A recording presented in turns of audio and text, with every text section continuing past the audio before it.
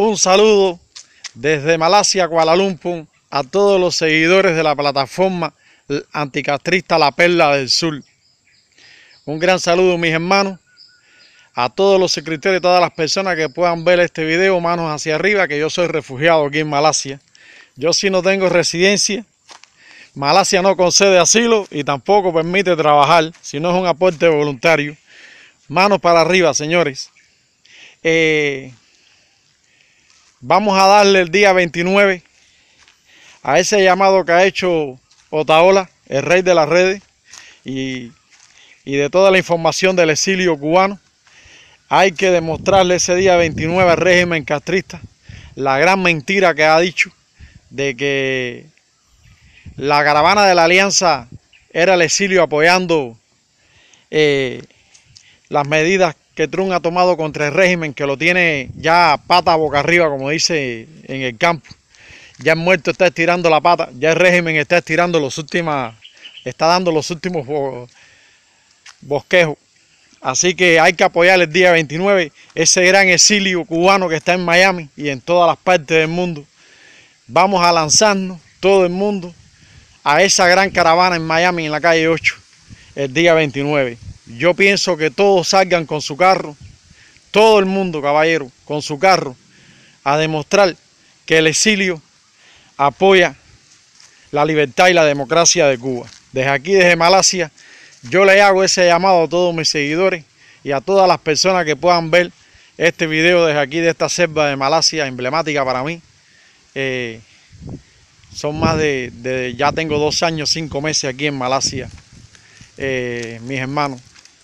Yo les pido todo su apoyo y hay que apoyarlo. Otaola. El exilio cubano siempre ha sido un exilio grande y generoso. Eh, el régimen siempre ha querido utilizarnos a nosotros como una plataforma de terroristas y de mercenarios pagados por, por los Estados Unidos. Eso es mentira. Nosotros somos personas que hacemos las cosas por la voluntad de nuestra patria por la libertad de nuestra patria y por la voluntad también de nuestro pueblo y nuestra familia que cada día, un día se ven libres porque cada día están en la pobreza, en la miseria y no las alcanza lo que uno pueda darle porque no tienen a veces donde comprar un jabón y un detergente. Así que mi llamado, mis hermanos, es que todo el mundo se sume a esa gran caravana el día 29. Lo otro es que yo quisiera aclarar aquí en este video. Mucha gente dice que Mundo García tiene ciudadanía norteamericana, que Yadir Escobar tiene ciudadanía norteamericana. Y yo quiero hacer un paréntesis y ser eh, eh, especificar esto. El Mundo García cuando fue a obtener la ciudadanía norteamericana, cuando el Mundo García se hizo ciudadano norteamericano, hizo un juramento a la Constitución de los Estados Unidos. Dentro de ese juramento está defender la nación norteamericana. Hoy, el Mundo García es un espía del régimen castrista. Es un espía de un gobierno foráneo y enemigo de los Estados Unidos, porque todo el mundo sabe que el régimen castrista lleva más de 60 años siendo enemigo potencial número uno de los Estados Unidos. Por lo tanto, yo quisiera que alguien me explicara, porque a mí me parece que la libertad de expresión, la libertad de prensa y esa gran democracia no permite de que un ciudadano norteamericano sea, eh, viole la ley patria de los Estados Unidos, igual que Yadir Escobar. Yadir Escobar ha salido en una, en una entrevista con una foto de Fidel Castro atrás, un hombre que ha sido un genocida y un terrorista a nivel de planeta. Todo el mundo lo sabe. En el planeta entero todo el mundo sabe que Fidel Castro ha sido un genocida y un terrorista, un, un financiador de actividades terroristas y creador de grupos terroristas. El hombre que trató también de hacer un negocio con Pablo Escobar y inundar los Estados Unidos de, cocaína. Eso se llama, ¿eh? eso se llama agresión a la sociedad norteamericana. Eso se llama una agresión al pueblo norteamericano, lo que quería hacer Fidel Castro en los años 1980 y pico, cuando quería inundar todo Miami de cocaína, porque lo logró, estuvo a punto de hacerlo, lo que los norteamericanos se dieron cuenta muy tarde.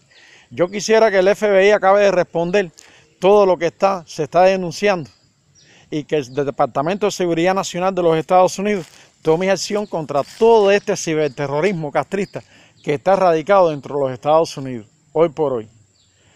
¿Hasta cuándo? ¿Hasta cuándo vamos a estar soportando que el ciberterrorismo castrista esté regado por el mundo entero? Ya se tomó acción en España y se va a seguir tomando acción. Yo pienso que Inglaterra en cualquier momento se destape la otra lata de galletas que está en Inglaterra. El control que tiene el régimen castrista sobre los medios ingleses Incluso hay uno de ellos que ha declarado ser del Parlamento. Hay un conde que ha, declarado en mensaje que yo se lo traspasé a la embajada eh, inglesa, donde dice que él forma parte del Parlamento inglés. Un señor llamado el conde de Cuba, el señor Carlos Leblanc, ha dicho en un mensaje que me envió de que él es conde y aparte de eso él, es, él integra el Parlamento inglés un espía, el hombre, el hombre que en el 1997 era jefe de seguridad del aeropuerto José Martí, viajó con el mundo Argentina, porque él y el mundo García viajaron juntos a Argentina, y es donde Carlos Leblanc, Carlos el sexto Leblanc, le estafa un cuadro que el mundo García vendió en Argentina y no lo pudo cobrar porque se lo estafó este señor llamado el Conde. Esto es una versión que después vamos a hacer un video para que ustedes sepan cómo fue la estafa del Mundo García en Argentina. Cómo el conde Leblanc le, estafa un cuadro al Mundo García, un Picasso que sacaron de Cuba, siendo el conde Leblanc el jefe de seguridad del aeropuerto José Martín en aquellos momentos, en aquel año 1997. Él lleva 20 años fuera de Cuba, está haciendo un espionaje profundo, quiere ganarse al régimen castrista para poder entrar a Cuba, porque hoy no lo puede hacer, está atacando a toda la oposición cubana, ataca a todo el mundo que esté en contra de todo el genocidio del régimen castrista. Y entonces estas son las personas que tenemos. Este señor lo tenemos en Inglaterra, tenemos otro más por Inglaterra, por allá por, por Islandia o por el país de Gales, por allá metido, que también está haciendo su, sus barbaridades. Hay muchos, hay muchos. Otro en Alemania que está fichado ya pero poquito a poquito, esto es con paciencia, mis hermanos, esto es como lo dijo el señor de la guerra de Afganistán, Abdul Shah Masul, señor de la guerra en Afganistán. La guerra contra los soviéticos hay que tener paciencia. Y se los, se los amaron, se los comieron fritos los soviéticos. Así que este trabajo contra el ciberterrorismo castrista va a ser un trabajo profundo y con mucha paciencia. Detalle a detalle van a ir cayendo uno a uno. Ahora cayó la red espía de Miami que está metida la alianza martiana completa dentro de ese potaje. Está Silva y hay varios. Y ten cuidado que, la, que no se salpique hasta Aldo Prado también. Cayó un hombre de Aldo Prado, cayó un hombre muy importante. Cayeron dos hombres importantes de Aldo Prado, Fred González y un tal Amansa cayeron en esa red ahora que, ha tenido que revelar Otaola. Y entonces poco a poco van a ir cayendo todos, uno a uno van a ir cayendo toditos los ciberterroristas estos. Hay que hacerlo.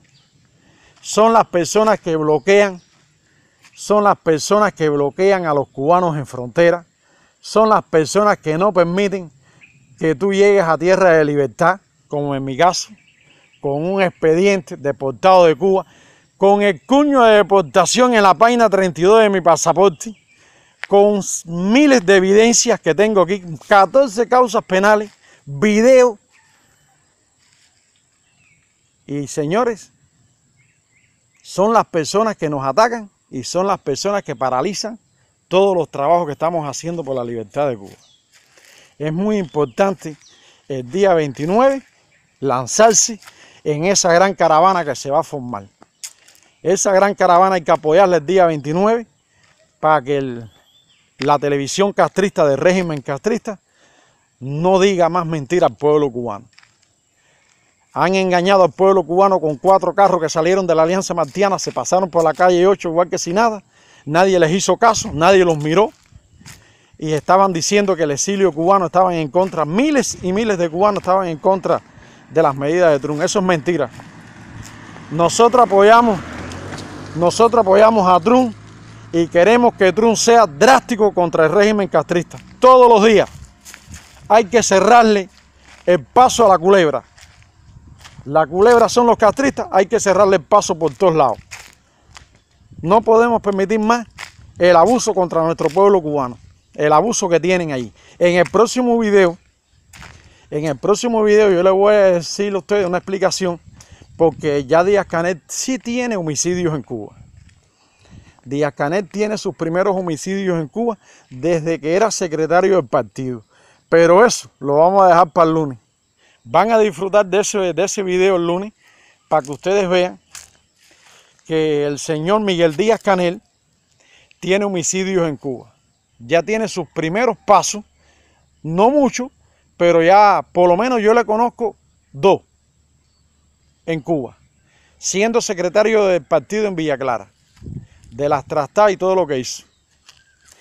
Eh, les envío un saludo, compartan, compartan y manos para arriba, traten de suscribirse todo lo que puedan para poder ir haciendo ya las directas ya. Pronto vamos a hacer las directas.